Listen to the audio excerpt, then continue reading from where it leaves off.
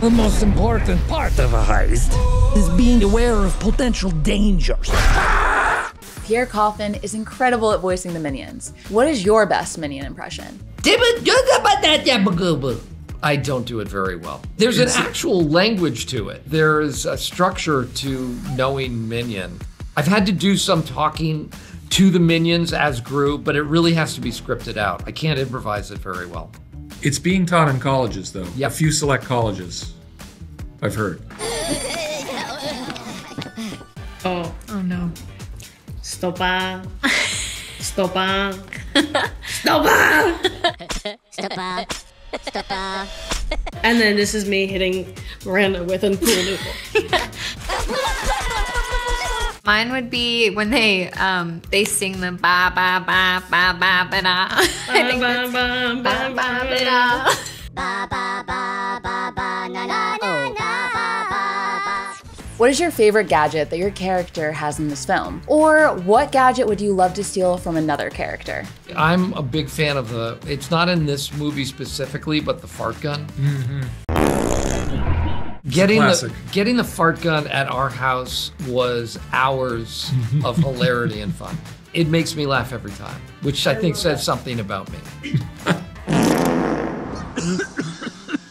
Poppy's got some gadgets, but I also love that she's a little bit crafty. She builds a model of the school that she wants to break into to best understand how to break into this school. Now, I think that's a very practical way of looking at things. I like that she plans things ahead. She's not gonna let her the spontaneous moment make her slip up.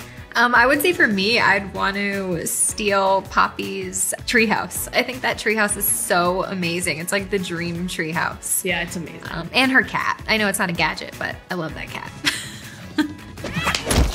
Did you guys get to work together in the room at all when you were recording?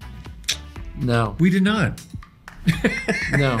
We didn't. I one day I hid under the table and just listened ah. to Will the entire time, but I never Yeah. revealed myself. Yeah.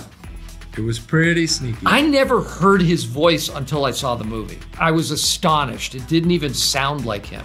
I'm unstoppable! you are obviously isolated, working on your own, you know, recording the voice, but when you finally get to see it and see everyone all put together, it is amazing how cohesive it feels.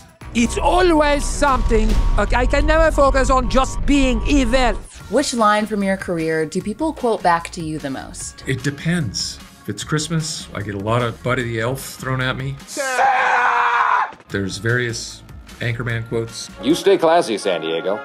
I'll get stuff from Anchorman. I don't know what we're yelling about! Uh, the one I probably hear most is uh, I'm going to the gym from Foxcatcher.